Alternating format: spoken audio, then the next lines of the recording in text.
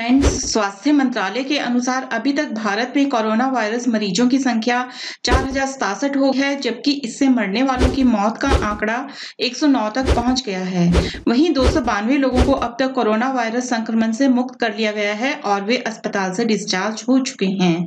Friends Bharat में पिछले दिनों में कोरोना वायरस के मामले तेज़ी से बढ़े हैं और देशव्यापी लॉकडाउन के खत्म होने में भी अब महज कुछ ही दिन बाकी रह गए हैं।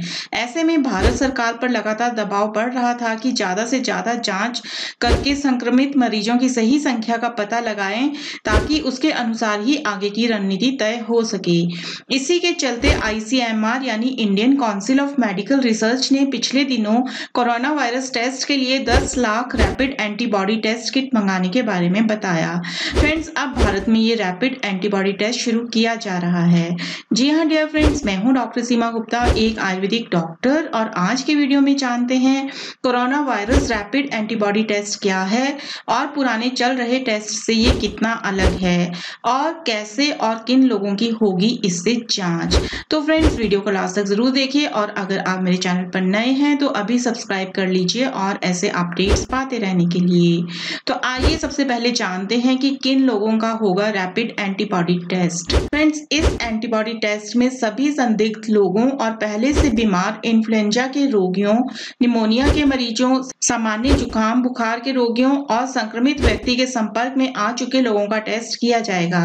ये जाँच उन इलाकों में की जाएगी जहाँ पर कोरोना वायरस के सबसे ज़्यादा मामले सामने आए हैं। सरकारें ऐसे इलाकों को चिन्हित करके जल्दी ही जाँच की प्रक्रिया शुरू करेगी। इस एंटीबॉडी टेस्ट के द्वारा उन लोगों का भी पता लग जाएगा जो कोरोना वायरस के संपर्क में तो आए थे मगर जिनमें लक्षण नहीं दिखाई दिए। अब जानते हैं कैसे किया जाएगा antibody test. Friends, Indian Council of Medical Research ने कोविड 19 टेस्ट के लिए नई गाइडलाइंस जारी की हैं, जिनमें पाँच मिनट के अंदर रिज़ल्ट देने वाले रैपिड एंटीबॉडी टेस्ट के ज़रिए अब जाँच में तेज़ी लाई जाएगी। रैपिड एंटीबॉडी ब्लड टेस्ट में उंगली में सुई चुभोकर मरीज़ के खून का सैंपल लेकर टेस्ट किट पर उसके एंटीबॉडी की मौजूदगी चेक की जाएगी। इसका रिज़ल्ट पाँच से लेकर पंद्रह मिनट में आ जाता है। जो लोग कोरोना वायरस के संपर्क में आ चुके हैं, उनके शरीर ने इस विषाणु के खिलाफ खिलाफ एंटीबॉडी बना लिया होगा, ये एंटीबॉडी खून में मौजूद होगा। ऐसे में एंटीबॉडी के द्वारा आसानी से और जल्दी से इस बात का पता लगाया जा सकता है कि कितने लोग कोरोना वायरस के संपर्क में आ चुके हैं। एंटीबॉडी टेस्ट के बाद क्या होगा? फ्रेंड्स, अगर किसी व्यक्ति का एंटीबॉडी टेस्ट पॉजिटिव आता है तो उसके फिर पुराने तरीके, यानी R T PCR, real time polymerase chain reaction के द्वारा जाँच की जाएगी, ताकि व्यक्ति के शरीर में कोरोना वायरस की सही स्थिति का पता लग सके। इसी के आधार पर उस व्यक्ति को या तो क्वारंटाइन किया जाएगा या इलाज के लिए भेजा जाएगा या रोग मुक्त मान लिया जाएगा।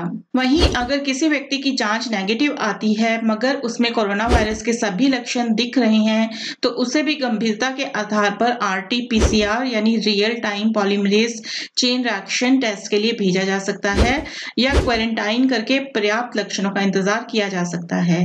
अगर किसी मरीज़ में एंटीबॉडी टेस्ट नेगेटिव आता है और बाद में आरटीपीसीआर टेस्ट भी नेगेटिव आता है, लेकिन उसमें सामान्य सर्दी, जुकाम, बुखार, खांसी के लक्षण हैं। तो इसकी संभावना ज़्यादा है कि उसे कोरोना वायरस नहीं, बल्कि किसी अन्य सामान्य फ्लू के कारण ये समस्याएँ हैं। इस तरह जल्द से जल्द बड़े पैमाने पर इस टेस्ट के द्वारा मरीजों की सही संख्या का पता लगाकर आगे की रणनीति तय की जा सकती है। तो फ्रेंड्स आई होप आपको ये जानकारी पसंद आई होगी। बने रहें आयुर्वेद गाइड चैनल के साथ। सब्सक्राइब करें। आज ही और ऐसे अपडेट्स पाते रहने के लिए।